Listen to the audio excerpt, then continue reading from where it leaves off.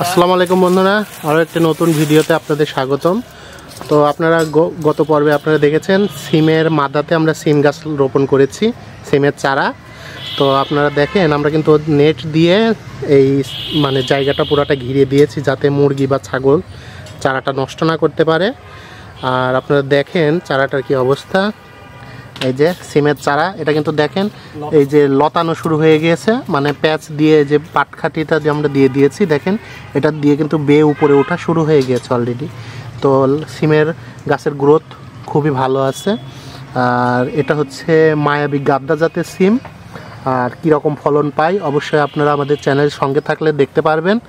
তো আমাদের এই সিমের আপডেট পেতে অবশ্যই আমাদের চ্যানেলের সঙ্গে থাকবেন। আর চ্যানেলের সঙ্গে থাকতে হলে অবশ্যই সাবস্ক্রাইব করতে হবে। আর ফেসবুক থেকে যারা দেখছেন, তাদের করতে হবে লাইক তো বন্ধুরা, আপনারা দেখতে পাচ্ছেন আমাদের সিমের মাথাতে সিমের গাছের অবস্থা। আর যারা সিম গাছ রোপণ করতে চাচ্ছেন, তারা কিন্তু অবশ্যই আমাদের চ্যানেলটার এই সিমের প্লেলিস্টটা ঘুরে দেখবেন আমরা কীভাবে সিম গাছ চারা রোপণ করেছি, কীভাবে সিমের বীজ থেকে চারা উৎপাদন করেছি এবং মাদা প্রস্তুত করেছি, সব আপডেট কিন্তু দেয়া আছে। তো আজকের মতো এই পর্যন্তই বন্ধুরা। আল্লাহ হাফেজ।